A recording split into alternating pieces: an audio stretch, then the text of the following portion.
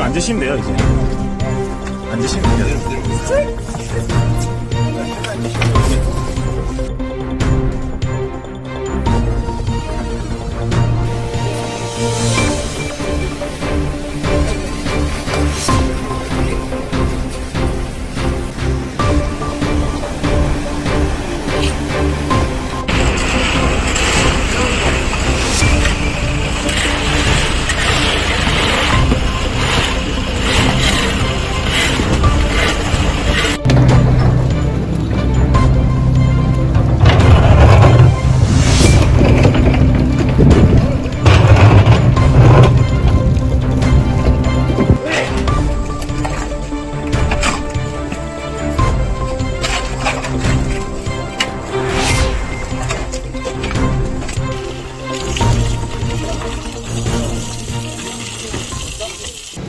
해병대 일사단은 태풍 피해 발생 후 즉각 현장으로 투입되어 포항시 전역에서 토사 제거, 배수 작업 등 피해 복구 작전을 시행하고 있습니다.